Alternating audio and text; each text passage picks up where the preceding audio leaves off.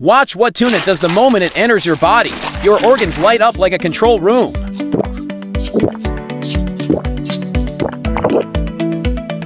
Down the food pipe it goes, and straight into the stomach where digestion switches on fast.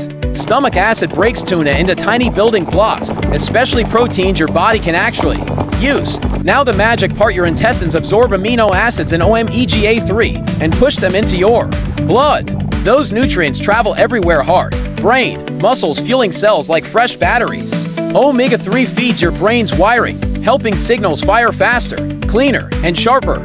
Protein pieces rush into muscles, helping repair, strengthen, and recover after daily effort. A balanced gut matters tuna can support your gut lining and keep digestion running smoother.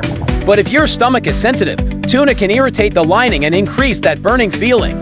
And for some people, fish allergy is real. The immune system can react fast with itching or hives. Also watch the salt can tuna can be high sodium, which may stress blood pressure in some people.